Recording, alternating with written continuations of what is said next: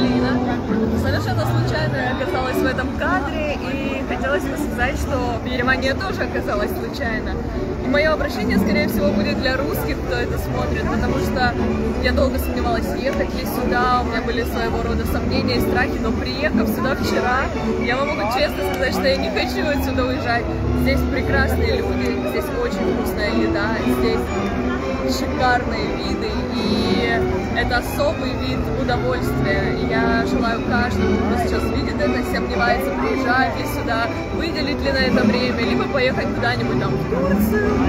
Приезжайте сюда. Это шикарно, прекрасно, замечательно. Я не перестаю радоваться и удивляться этому городу, этой стране. Благодарю за все желаю каждому испытать э, такие чувства здесь.